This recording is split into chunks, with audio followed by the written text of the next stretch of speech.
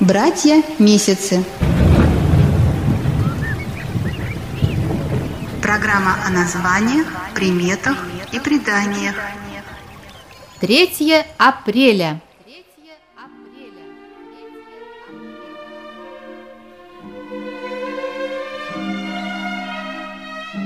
Фома. Фомин день. День переплута, хозяина водяных. Праздник водяного.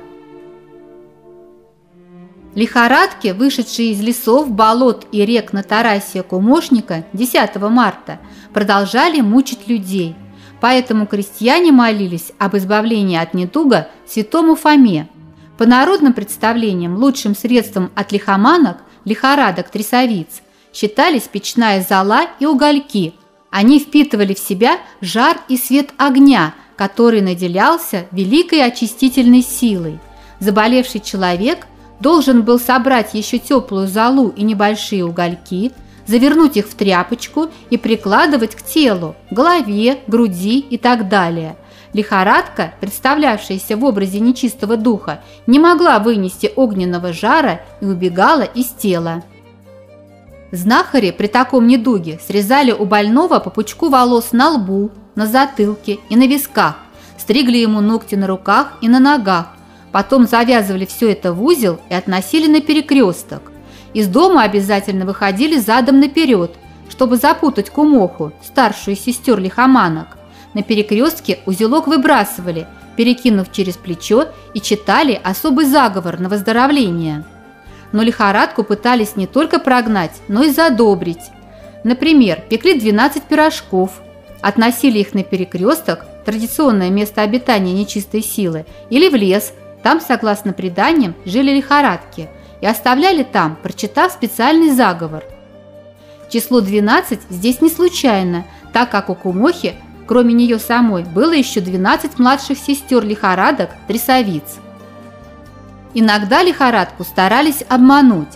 Если человек чувствовал, что заболевает, то он переодевался в вывернутую задом наперед одежду, прятался в подполье и тому подобное – доходило до того, что во время эпидемий крестьяне, чтобы обмануть болезнь, писали на избах «Никого нет дома». Фома на Руси считался последним днем, когда дети еще могут кататься с гор, чем они с радостью и пользовались. Потом-то снега днем с огнем не сыщешь. А еще в этот день, как правило, бывают легкими роды. К 3 апреля обычно набухают почки у смородины – появляются белые трясогузки. Гром в этот день знаменует урожайный год, а если березовый сок течет обильно, к дождливому лету. В некоторых славянских родах сегодня день переплута, бога моря и мореходства, хозяина водяных и праздник водяного. Традиции и обряды этого праздника основаны на представлении, что водяной летом бодрствует и шутки шутит, Зимой же спит подо льдом рек, озер и других водоемов. С началом весны водяной, чувствуя пробуждение природы, просыпается злой и голодный. С досады он часто ломает лед на мелкие льдины, чтобы народ не мог ловить рыбу подальше от берега. Срывает плохое настроение и на рыбе, гоняя ее в разные стороны, а мелкую совсем может замучить поднимает воду в реке, и она несется, срывая мосты, мельничные снасти, гати, прибрежные склады. Славяне, принимая этого природного духа таким, как он есть, договаривались о мирном с ним сосуществовании, принося ночью водяному требы.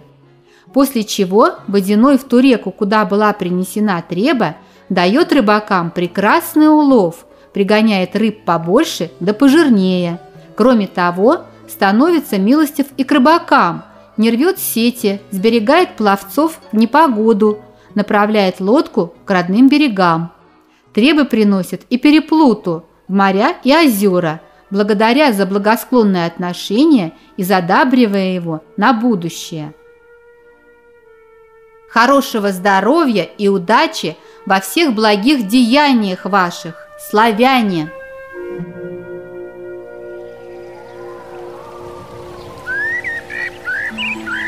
Братья месяцы.